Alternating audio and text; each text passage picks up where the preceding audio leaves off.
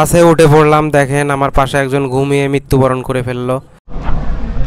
আসসালামু আলাইকুম। So friends তোমরা জানো, গত রবিবারে আমি আমার ছাগলের খামারের জন্য ছাগল সংগ্রহের যে প্রক্রিয়া, সেই প্রক্রিয়ায় আমি একটা পাঠা, উন্নত জাতের পাঠা বাচ্চা কেনার জন্য নাটোরের তেওয়ারি হাটে যাই।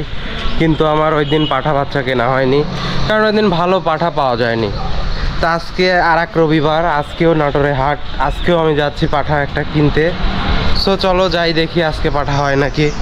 তো আজকে পাঠা কিনতেই হবে আমার কারণ প্রতিদিনের যায় না। টমটমে আমি যাব চলো হাটে যাই। বাসে বাসে উঠে পড়লাম দেখেন আমার পাশে একজন ঘুমিয়ে মৃত্যুবরণ করে ফেলল। তো যাই হোক বাসটা আমাকে সরাসরি তেবাড়িয়া নাটোরের তেবাড়ি হাটে নামিয়ে দিল। আমি এখন চলে যাচ্ছি হাটের মধ্যে। আজকে দেরি করবই না কারণ গতদিন দেরি করে আমি ছাগল কিনতে পারিনি আমি ধরা খাইছি। সো আজকে আমার টার্গেট যে ভাই যে ছাগলটা ভালো লাগে ওই ছাগলটা আমি কিনে ফেলব। তো আমি ছাগলের পোর্শনে মানে পাঠার পোর্শনে চলে যাই, যেহেতু পাঠা বাচ্চা কিনবো, উন্নত জাতের পাঠা।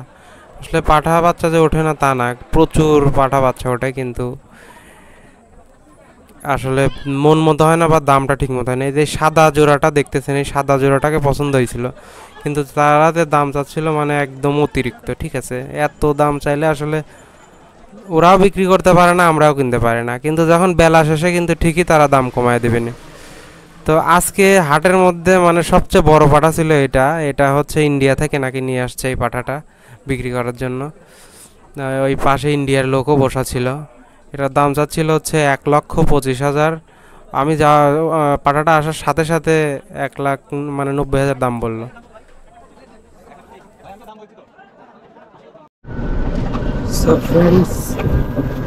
আলটিমেটলি আজকে ছাগলটা কিনেই ফেললাম।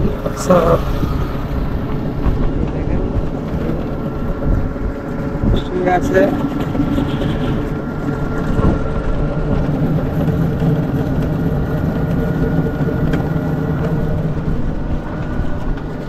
So, এখন আমি গাড়িতে আছি।